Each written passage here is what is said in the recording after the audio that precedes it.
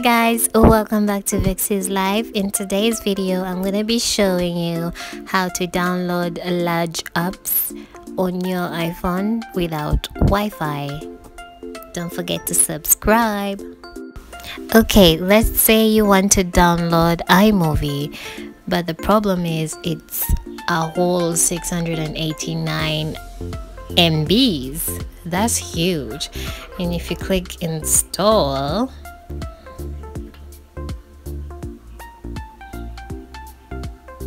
that's the message you'll get which is annoying.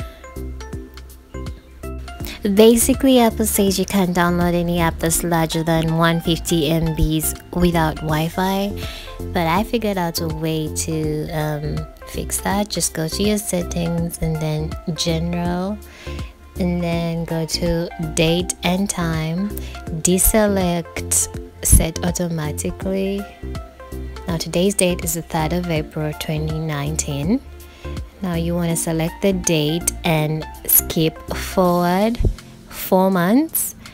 So from April we want to go to August.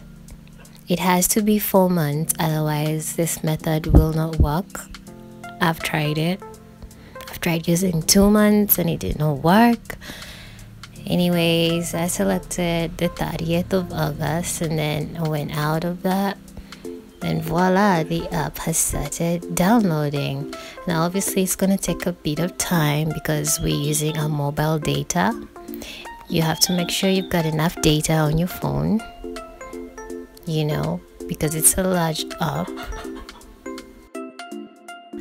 while we wait guys please don't forget to subscribe to this channel and to also follow me on instagram the link to my instagram is in the description box below thank you guys